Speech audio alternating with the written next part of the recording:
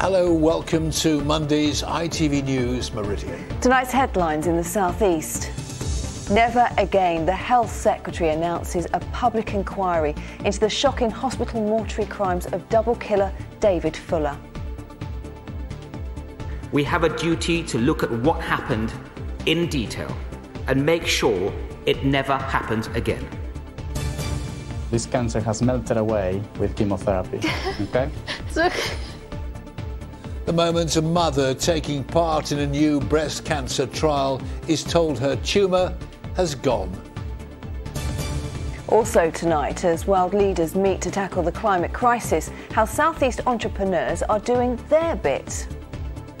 And a remembrance journey. A grandson lays a wreath to the soldier killed saving his grandfather on the Western Front. Good evening to you. The Health Secretary has announced an independent national inquiry into the shocking crimes of David Fuller, who abused 100 female corpses at two Kent hospitals over 12 years, undetected. He filmed his crimes in recordings discovered by police after he was arrested for the historic murders of Wendy Knell and Caroline Pearce in Tunbridge Wells. Well, Tony Green is live for us this evening at Tunbridge Wells Hospital, where Fuller worked as an electrician. Tony, this inquiry had been called for by MPs across Kent.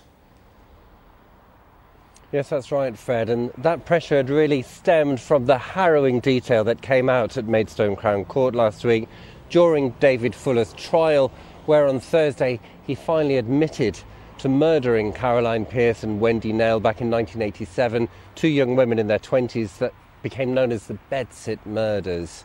Now, it was DNA evidence that led police to David Fuller's Heathfield home, but while they searched that home, they found more evidence, video recordings of crimes committed here at Tunbridge Wells Hospital in Pembury and at the Kent and Sussex Hospital, its predecessor. Fuller worked here as an electrician and he used his security pass to gain access to the mortuary where he abused the bodies of women and girls. Kent police have evidence of 100 victims, 81 of which have been identified. Some may never be identified. That led calls for a public inquiry. Maidstone and Tunbridge Wells Trust had announced their own inquiry to begin with, but today the Health Secretary Sajid Javid announced a much broader public inquiry to look at what happened here but also to look at security arrangements across all hospitals. And that's something that's been welcomed today in turn by the Tunbridge Wells MP, Greg Clark. Given the scale and the nature of these sexual offences, I believe that we must go further.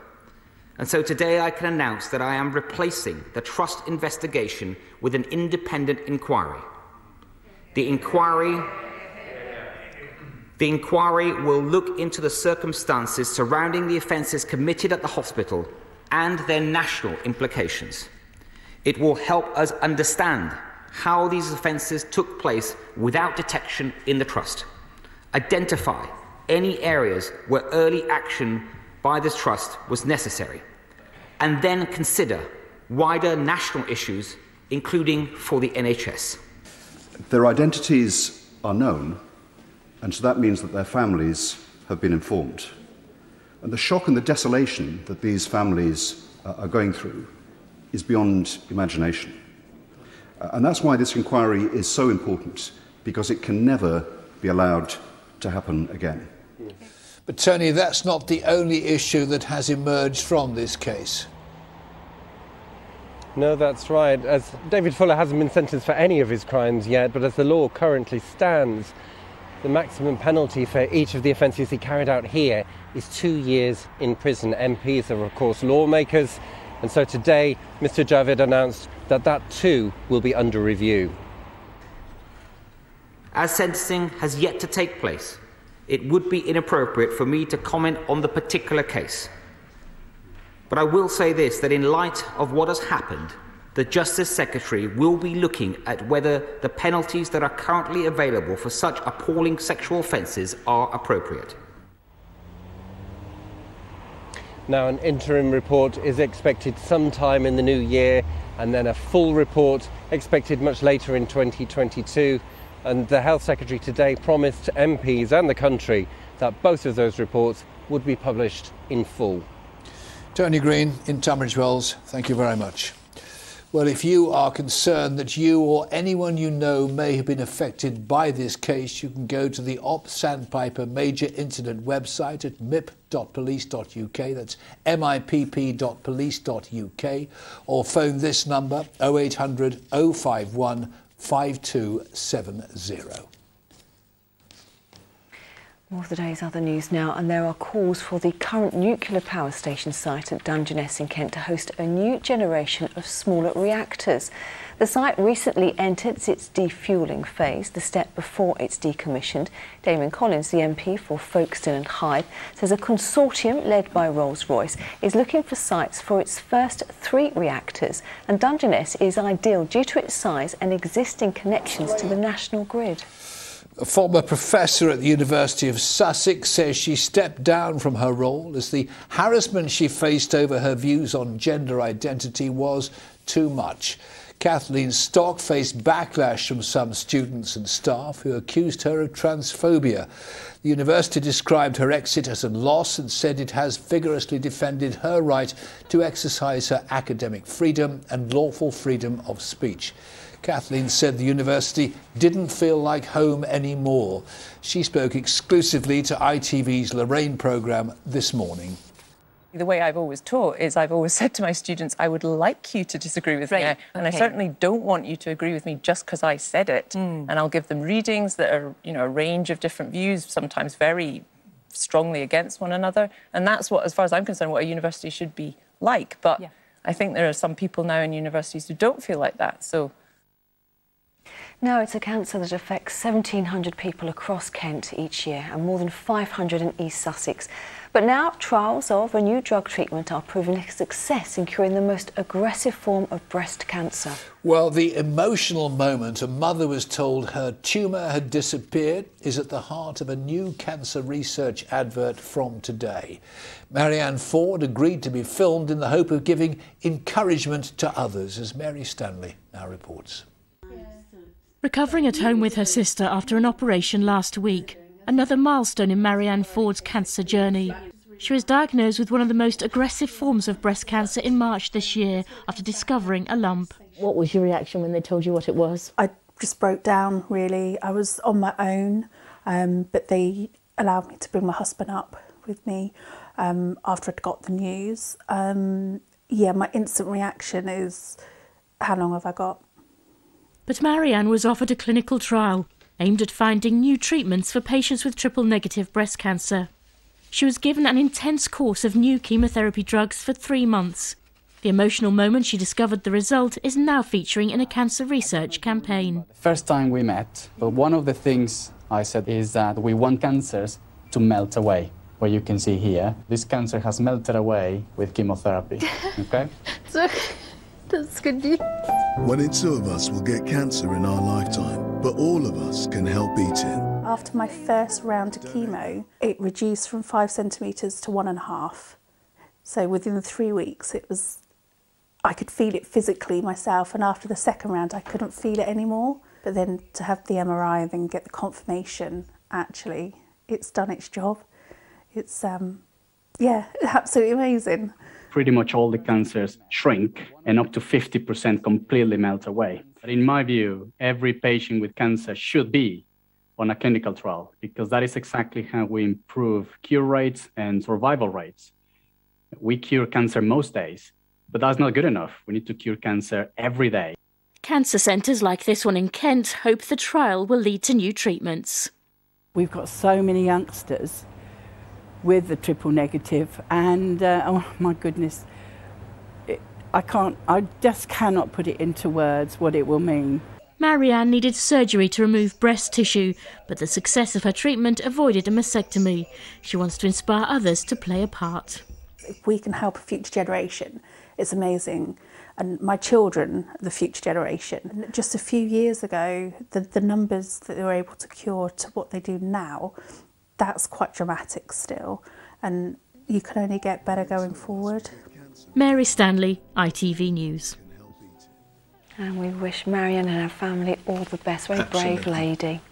Now, one-time bookshops could be found on almost every high street, but they've had to face quite a few challenges, competing with online shopping and the arrival of e-readers. Well, it's no wonder their numbers had been dwindling a bit until now, because as a bit of a bookworm myself, I'm delighted to say bookshops appear to be booming once again, with more opening up and rising sales as well. Lauren Hall can tell us more. There's been a change in narrative for our bookshops. After a tough couple of decades, there seems to be a renewed interest in them, something they're noticing here at Mr. Book's bookshop in Tunbridge in Kent.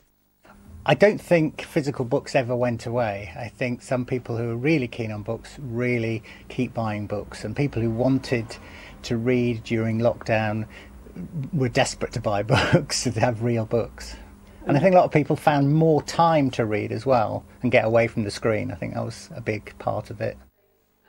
Of course, it could have been a very different story, considering the impact the pandemic's had on our high streets. It has been a weird time, and it's fair to say the past 18 months have been a bit of a horror story for the retail sector. Lockdowns and other restrictions meant shops like this saw far fewer customers. But there is some light relief because during the pandemic, we've also seen a shift in people's reading habits and shopping habits. It seems many have turned over a new leaf and discovered a love of reading. More than 200 million paperbacks and hardbacks were sold in the UK last year, the highest sales for nearly a decade. There's also been a rise in the number of independent bookshops. The most recent figures from the end of last year show there are 967 shops nationally, up from 890 the year before. I think where people have had more time to read during lockdown, a lot of people have been reminded how much they enjoy reading, and we're all thinking about our consumer choices a little bit more and wanting to invest in our communities and spend money on our high streets um, and support independent shops. There's plenty of support for this one, which only opened a few months ago. I think lockdown really sort of made me into a bigger reader than I already was. Never been a huge reader, but I've definitely been reading a little bit more than I used to. People have had enough of screens, really. I certainly have. And uh, with with bookshops, you can just look and find things that you didn't know were there, and if you open your mind a bit, uh, you might even buy it and read it. The author Dorothy Koomson from Brighton hopes people will continue to support their local bookshops, warning it's a case of use them or lose them. I hope people don't think that just because we're talking about it now, that it's fine and they can just let it go again. But I hope people continue to support them because it's good for authors, it's good for um, bookshops, and also it's good for the economy. It does seem to be the start of a new chapter and for an industry which has faced so many challenges, the current trends are something of a fairy tale. Lauren Hall, ITV News. Put that book down now, please, because you should be watching ITV News here in the Meridian region. Coming up, Holly's here with the weather details. With many a crunchy leaf underfoot and a chill in the air, there's no mistaking we're well into November. But as we sink further into the month, temperatures are actually a little on the rise. I'll have your full forecast. And you can find more on today's top stories in the region throughout the day and evening on our website. Go to itv.com forward slash meridian. Call us on this number 0808 1010 095. Follow us, please, on Facebook and on Twitter.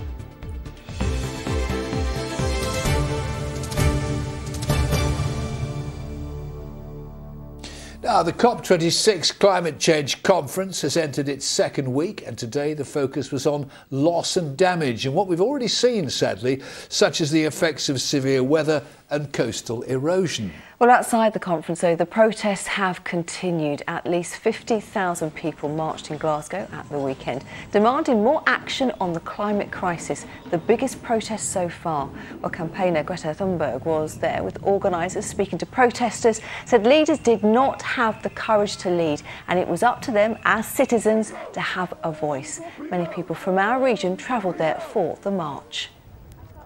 They haven't really taken on the urgency. If they'd really put in the urgency, I'd have more time for them. It's this age that's putting in the urgency because they're the ones going to be most affected. I just sort of can cry some days thinking of the grandchildren for when they're grown up and how it's going to be. And so we've got to get it right and we've got to, you know, try and stop this um, temperature rise.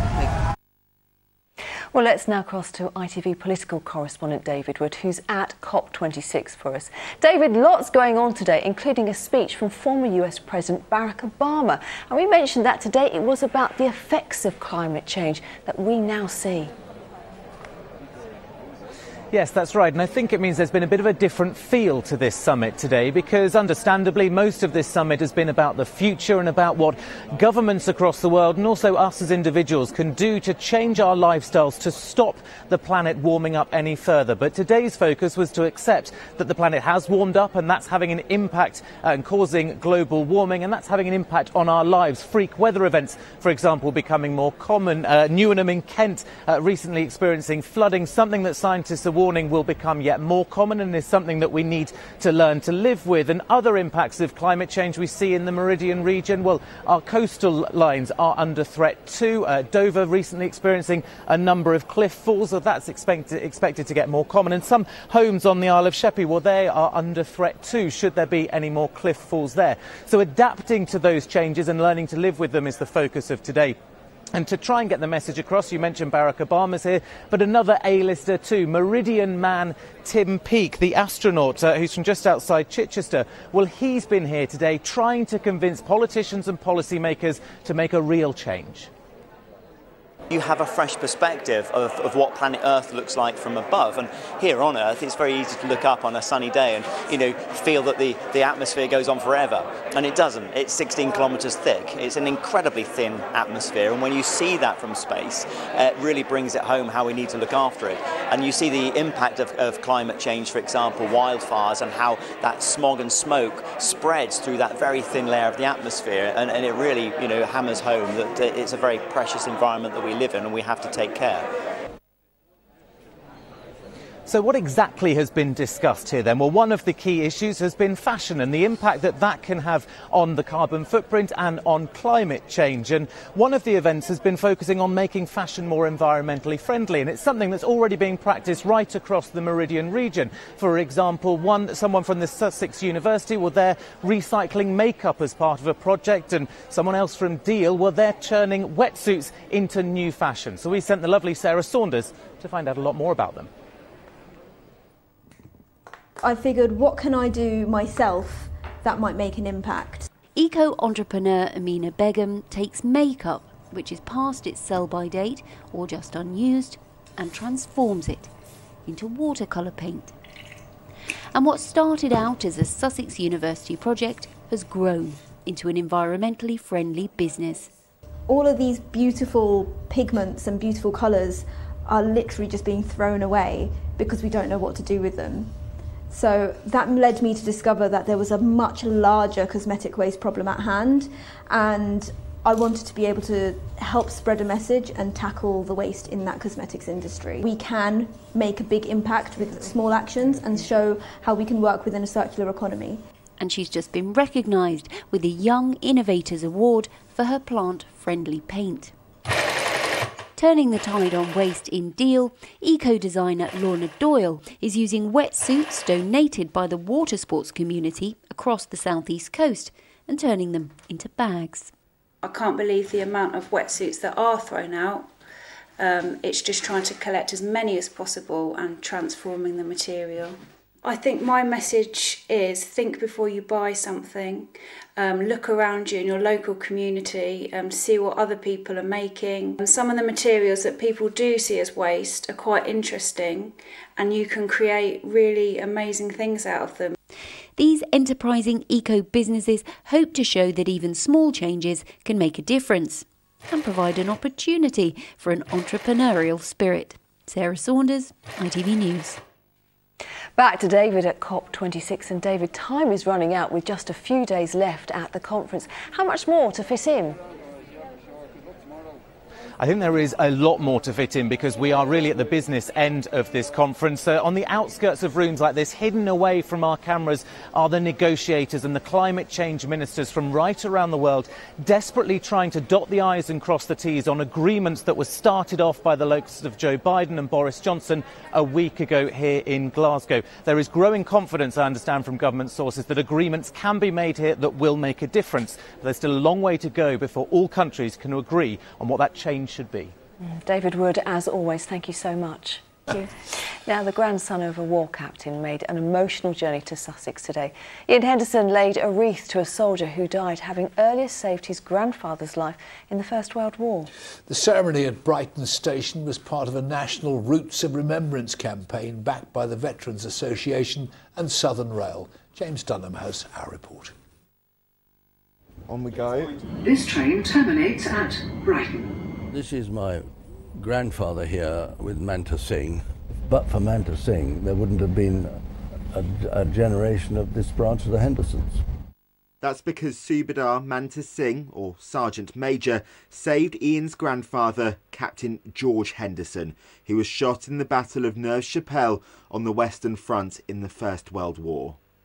There are various stories. Somebody said he enlisted the help of a wheelbarrow to get him back.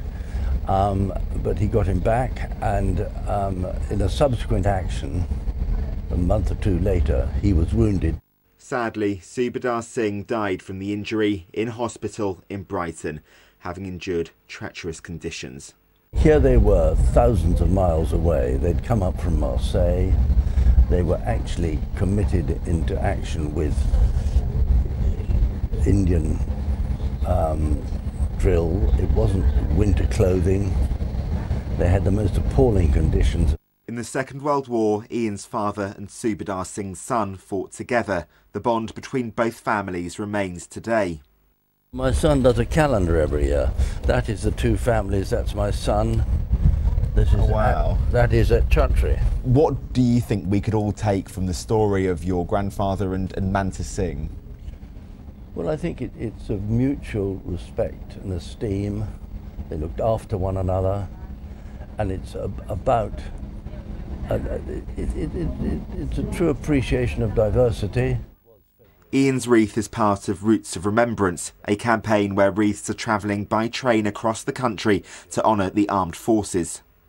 The rail industry had a huge role to play in World War One and World War Two, moving rations, equipment, and of course troops, whether they're healthy or injured, around the country.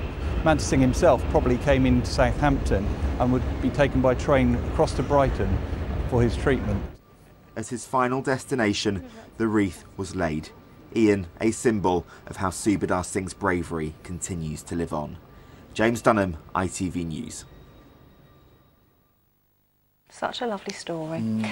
Now we're talking mushrooms. Mm. Holly has joined us now. When I've been walking the dogs, I must say I've been seeing lots of very different and odd-looking mushrooms as well. And I just wondered why. Why is this, Holly? Well, I'm glad you asked. They do they do appear a lot more in autumn. It's, it's the time of year. The, the earth is still very warm. It's getting moister, and that's just what fungus loves. So we start to see them all sprouting up all over the place. Because they are fun guys, aren't they? Oh, Fred, you're a fun guy. How long did that one take you? Oh, weeks. weeks. Uh, but of course, I should just say don't eat any of them. There are thousands of uh, types of fungus, and very few in this country or in any country are uh, edible. So, uh, yeah, just be very careful unless you really know what you're doing. Let's take a quick look. Okay. This first one, the classic, of course, it's the fly agaric. Oh, the one. the classic. Yeah, we see in fairy tales, don't we? Uh, now, a lot of uh, a lot of the mush- a lot of the fungus is actually under the ground. So the bit we see is only a tiny portion of it. Uh, you've got the mycelium under the ground, which can be thousands of meters long. Goodness Really? Apparently, yeah. Wow. Uh, now, this I've written amethyst deceiver or lilac fibre cap, and that's because they look very similar. One is edible, one is poisonous. So it Which just is goes which? to show. I don't. Well, the um, amethyst them all. deceiver is the edible, lilac fibre cap's the poisonous. So it just goes to show how careful you need to be. Yes. Uh, Nicola sent in a yellow stag's horn. This is a jelly fungus. It looks like coral, but it's slimy and gelatinous to the touch. So I wouldn't go near it. Don't eat. In fact, don't eat any of them. No, that would that would No. be unless unless you're a real expert. Yes. Not much room for the weather forecast, but oh. there is indeed just about enough room. Here she is, Holly Green.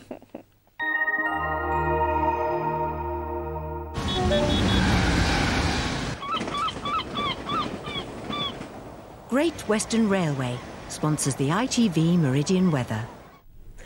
Well, the week hasn't started too badly. We've had a bit of brightness around for today, and it's turning milder as well. That means the cloud will thicken and lower tonight. The air that's coming in is uh, more moist, so I think some hill fog around, some poor visibilities. But I think we should see some brightness for tomorrow, and temperatures will be that little bit higher than today, although equally it will be a bit breezier as well. Uh, then we've got a weather front approaching for Wednesday. That's going to bring a bit of patchy rain before clearing through, and then high pressure dominates for the tail end of the week, so I think that should settle things down.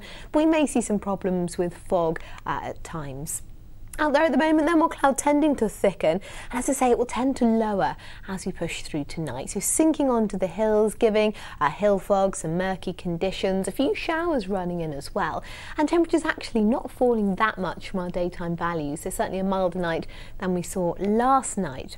Into tomorrow morning then, some poor visibilities to kick things off, a murky grey old start, a few showers around as well, but hopefully brightening up relatively quickly. So some sunshine emerging, more of a breeze around than today, a southwesterly, but it is drawing in mild air. So we're looking at temperatures for tomorrow getting up to around about 14 or 15 degrees, which is a little on the high side for the time of year. Our times of high water, Hastings there 127 and again at 150 as we head into the afternoon. And finally, the outlook. Well, I think some outbreaks of rain at times on Wednesday, thanks to that weather front. Uh, we do tend to find things brightening, though, I think, as we head towards the tail end of the week. There may be some problems with fog at times overnight, but as I say, some settled weather to be had by day. Great Western Railway sponsors the ITV Meridian Weather.